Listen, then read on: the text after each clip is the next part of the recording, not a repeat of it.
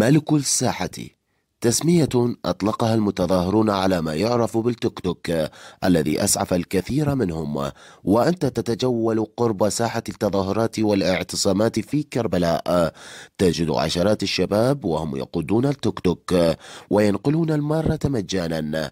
بالإضافة إلى نقل السلع الغذائية لساحة الاعتصام. جاي ننقل مجاني ننقل مواد غذائية ننقل مي ننقل الناس الكبار العجوز الشايب يعني هاي صار لنا من يوم 25 لهذا اليوم كله شغلنا مجاني. لا, لا ناخذ فلوس ولا هاي.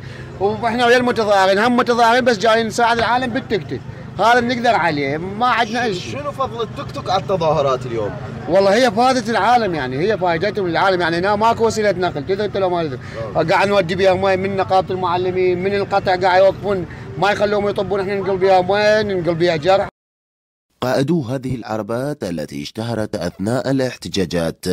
قالوا عبر عدسة التغيير أن ما دفعهم لتسخير أنفسهم وأوقاتهم.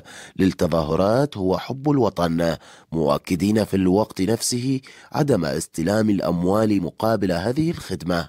إحنا جالسين ننقل الجرحى بالنسبة للتكاتك. دخول ما يخلونا ندخل. يعني جامات لا يخلونا عند جامات. فلوس ما ما ناخذ من العالم. مجانا. مجانا جاي نشتغل مجانا. فهم معادينا يعني هسه وين ماكو وين ماكو واحد دا يشتغل لا يكسرون جامته لا ياخذونه يعتقلونه.